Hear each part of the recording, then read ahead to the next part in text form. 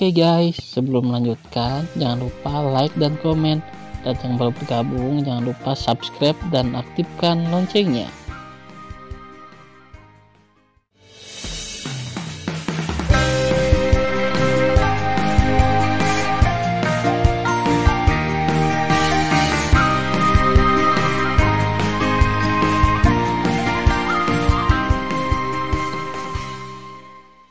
Episode 59 Melanjutkan cerita sebelumnya, Tan Yun ingin mengatakan bahwa dia membantunya membunuh, dan kemudian membiarkannya memberikan api untuk dirinya sendiri.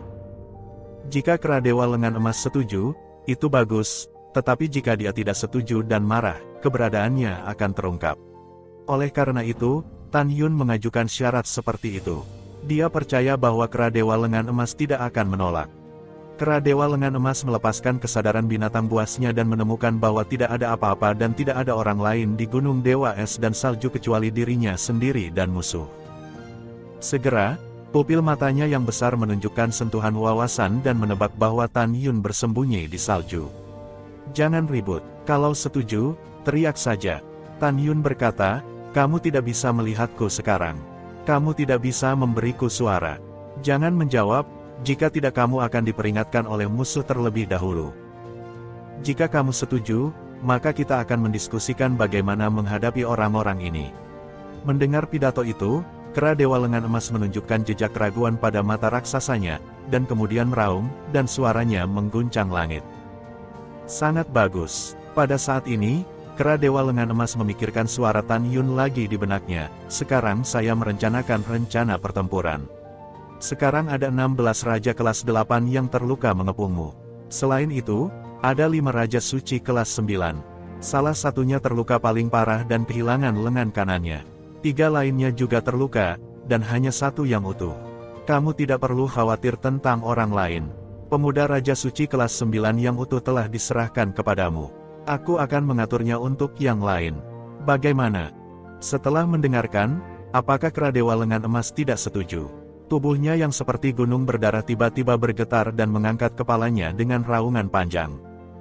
Pemuda Raja Suci kelas 9 di mulut Tan Yun adalah tuan muda keluarga San, San Kong, salah satu dari enam keluarga kota Raja Jizanshan.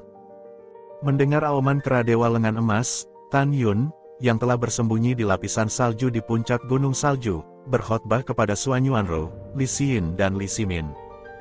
Meskipun musuh tampaknya ramai dan kuat sekarang, mereka terikat untuk mengkonsumsi banyak kekuatan suci di kolam spiritual pada saat ini, dan kekuatan mereka sangat berkurang. Nanti, ketika saya mengatakan untuk melakukannya, kera dewa lengan emas akan berurusan dengan Raja Suci kelas 9 yang paling kuat, dan 16 Raja Suci kelas 8 yang terluka, saudara Simin dan Siin. Apakah ada masalah? Li Siin dan Li Simin tidak kesulitan berkomunikasi dengan segera. Kakak dan adik yakin bahwa meskipun mereka adalah Raja Suci kelas 2, mereka dapat melampaui level mereka dan menantang kekuatan mereka. Bersama-sama, mereka cukup untuk mengalahkan delapan Raja Suci kelas 8 dengan kekuatan penuh. Di mata saudara dan saudari, tidak ada masalah untuk berurusan dengan 16 Raja Suci kelas 8 yang terluka. Pada saat ini, Li Xin berkata, Jing Yun, apakah orang-orang ini akan dibunuh? Bunuh, Bagaimanapun, kera dewa lengan emas juga membunuh begitu banyak orang, menunggu kakak perempuan di luar dewa yang melahap, ayahmu dan Suing Tianzun, juga tahu ada yang tidak beres di dalam. Setelah transmisi, Tan Yun berkata, Ruer, ada empat raja suci kelas 9 yang terluka, salah satunya kehilangan lengan kanannya dan terluka paling parah. Kamu akan berurusan dengan raja suci kelas 9 dan wanita rok putih lainnya. Aku akan berurusan dengan dua sisanya. Dengan kekuatan kami, untuk menangani empat Raja Suci kelas 9 yang terluka, bahkan jika Anda tidak menggunakan keterampilan klan roh, saya tidak menggunakan formasi pedang Hongmeng dan seni pedang Hongmeng. Mendengar pidato itu, Suan Yuanru berkata, Oke, ikuti saja pengaturanmu dan perhatikan keselamatan. Puncak Gunung Salju Ji Hao, yang bersembunyi di samping, menelan air liurnya, bangkit dan menatap kera dewa lengan emas, mencibir dan berkata, kamu binatang, membunuh begitu banyak orang di kota Raja Dewa Jisan. Hari ini, Tuan muda membiarkanmu mati tanpa seluruh tubuh. Segera, dia melihat ke-16 Raja Suci kelas 8 dan 5 Raja Suci kelas 9 yang dikelilingi oleh kera dewa lengan emas dan berkata dengan keras, semua pergi dan bunuh binatang buas ini. Tepat ketika semua orang akan memulai, suara Tan Yun terdengar di benak kera dewa lengan emas, Tuan kera dewa, mulai. Mengaum. Kera dewa lengan emas meraung, dan gunung seperti darah menyembur keluar dari tubuhnya. Dia berlari dari salju dan membunuh San Kong. Membunuh membunuh. Tabrakan.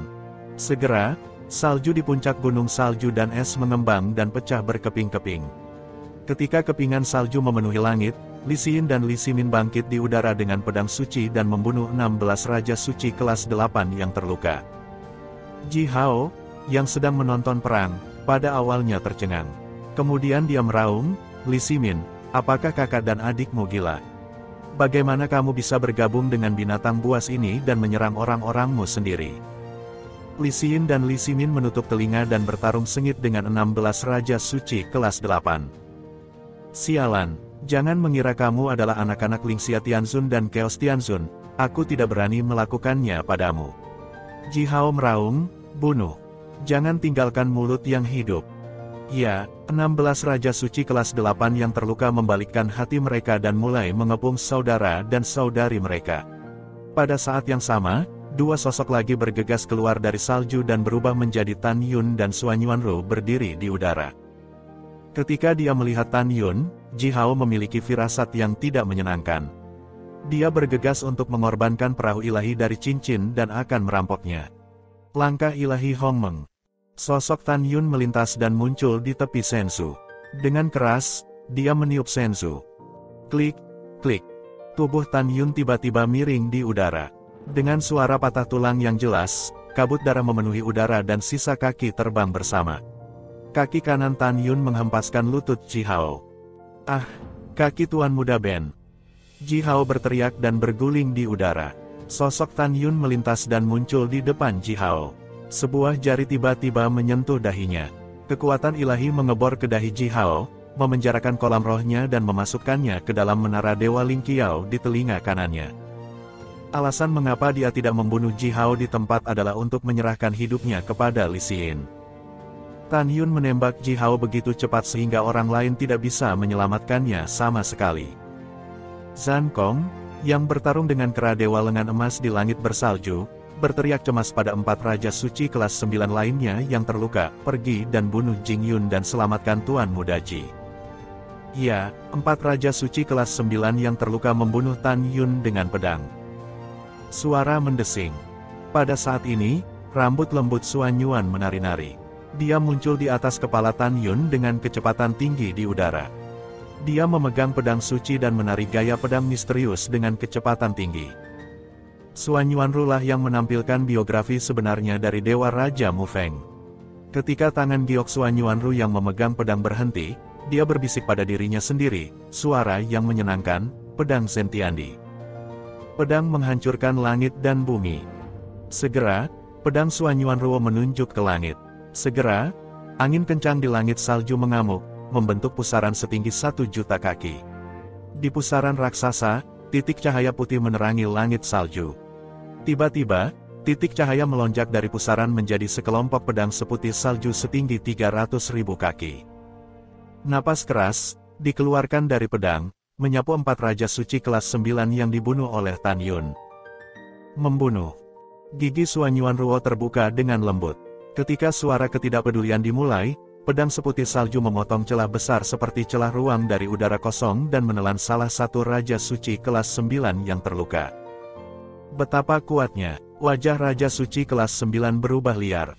Dari bau pedang seputih salju, dia dapat menyimpulkan bahwa jika dia tidak terluka, dia bisa melawan di bawah masa kejayaan, tetapi sekarang sulit untuk menjadi lawan Suan Yuanru.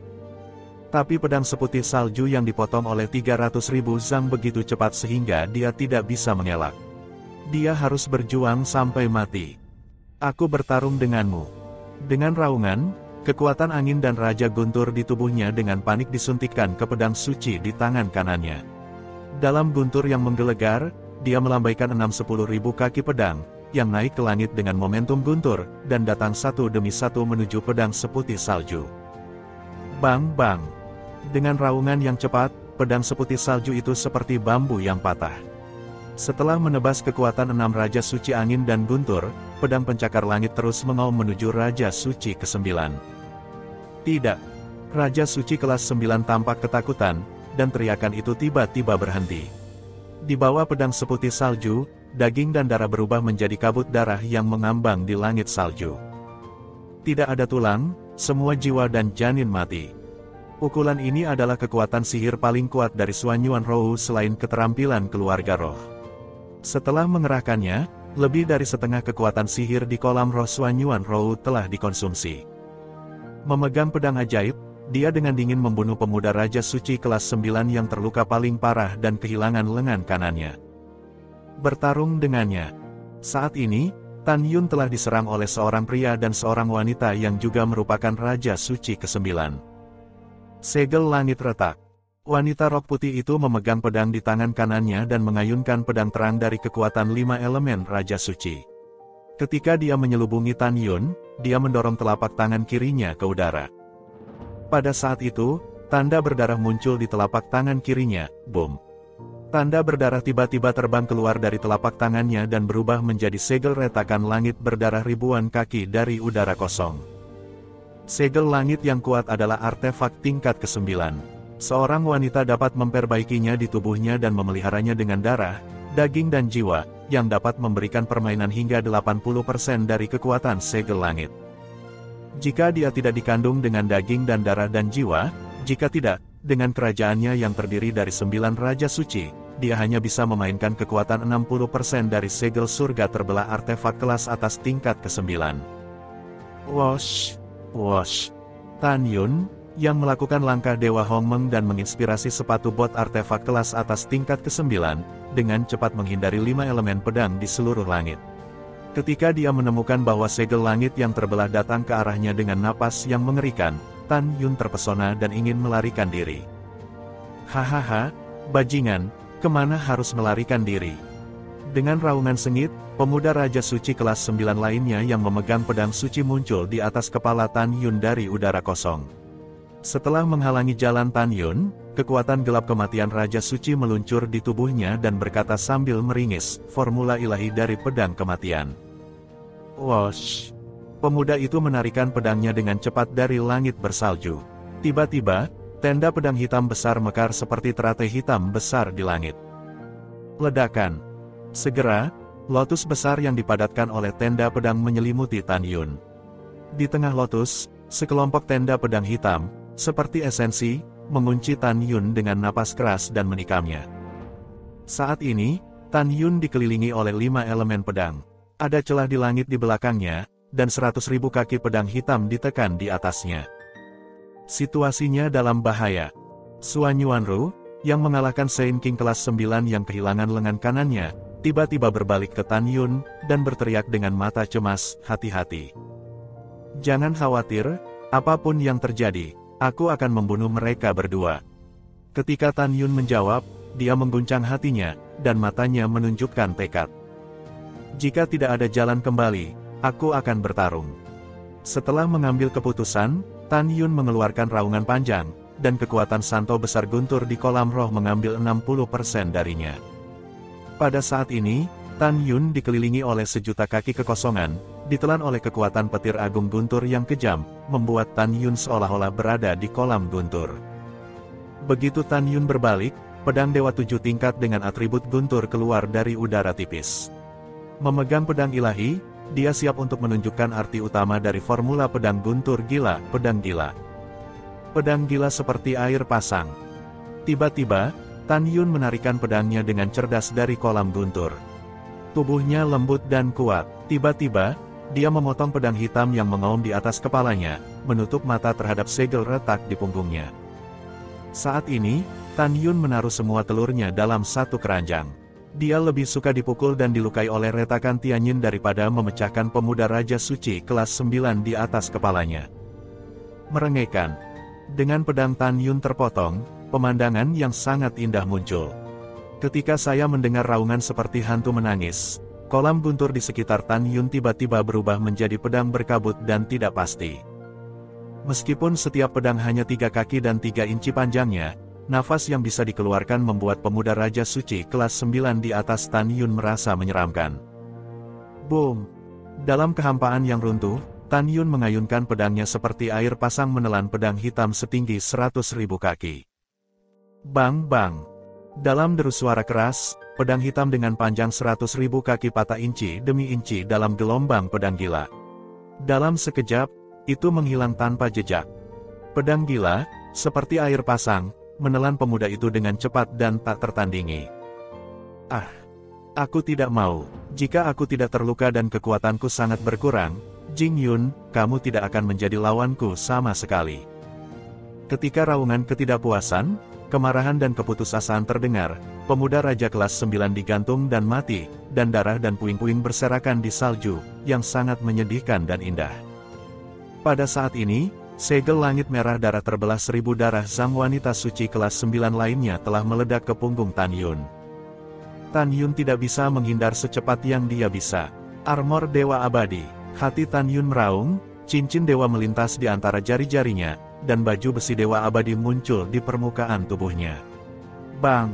Saat Tan Yun memotong dengan pedang, pemandangan yang sangat indah muncul. Sama seperti siulan seperti teriakan setan, kolam guntur naik dari tanah, dan tiba-tiba berubah menjadi pedang halus dari seluruh Tan Yun.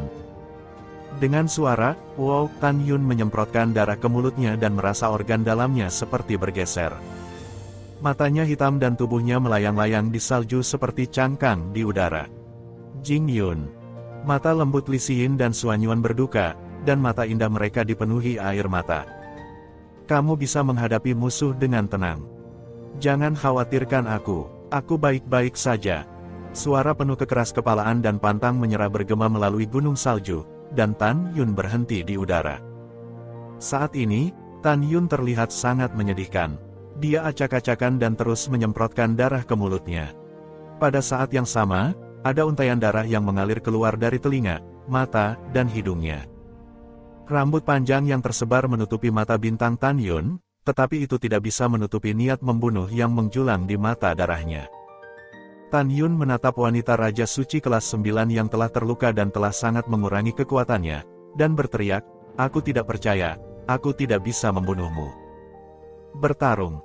Tangan kanan Tan Yun mencengkeram pedang atribut angin dan guntur, seperti binatang berdarah, berlari dari salju ke udara dan membunuh wanita itu.